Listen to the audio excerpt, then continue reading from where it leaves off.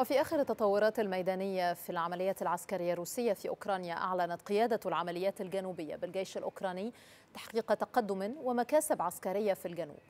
وأكدت القيادة مقتل وتدمير 35 وحدة من المعدات العسكرية في الجبهة الجنوبية مشيرة إلى أن وحدات الصواريخ والمدفعية قامت بأكثر من 350 مهمة إطلاق نار. ما أدى إلى مقتل 58 من الجنود الروس وتدمير عدة عشرات من المعدات العسكرية. من بين ذلك تسع دبابات وسبع عشرة مركبة وأربعة مدافع هاوتزر.